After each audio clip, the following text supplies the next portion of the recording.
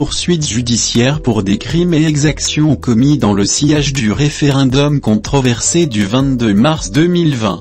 Des preuves matérielles qui attesteraient leur implication présumée dans ces graves violations des droits humains, ont été transmises ce jeudi 14 avril au parquet général de Conakry, par des avocats du FNDC.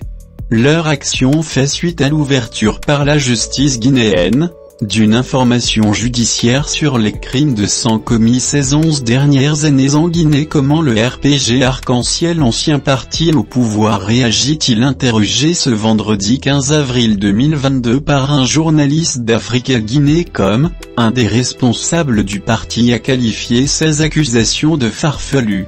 Ce sont des habitués des faits. Ce très déplorable que des gens qui prétendent être des leaders d'opinion puissent se comporter comme des enfants. J'ai vu une longue liste dans laquelle mon nom y figure. Les gens prennent leurs émotions pour de la réalité. Lorsqu'on veut porter des accusations aussi graves sur des personnalités, il faut se prémunir d'un minimum d'éléments objectifs et surtout savoir comprendre les contours d'un tel processus. Mais se réveiller un beau matin pour dresser des listes fantaisistes en mettant des noms de toutes les personnalités d'un régime, cela relève de l'enfantillage. Cela n'engage que les auteurs, a réagi Souleymane Keta, un des responsables de la communication du RPG Arc-en-Ciel. Les accusations des avocats français du FNDC surviennent alors que le premier dirigeant du RPG Arc-en-Ciel et plusieurs autres responsables du parti sont en détention à la maison centrale de Conakry.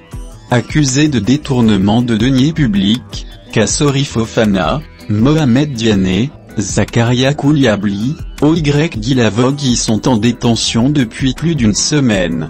Selon Maître Guyaliam Bourdon et Maître Vincent Brangart les éléments de preuve qu'ils ont transmis au paquet dans une clé USB, peuvent être exploités dans le cadre des investigations ouvertes. Pour Souleymane Keta, ce qui est brandi comme preuve, c'est tout simplement de la distraction. Nous ne sommes pas des personnes qui pourraient s'illustrer dans des pratiques qu'ils ont décrites.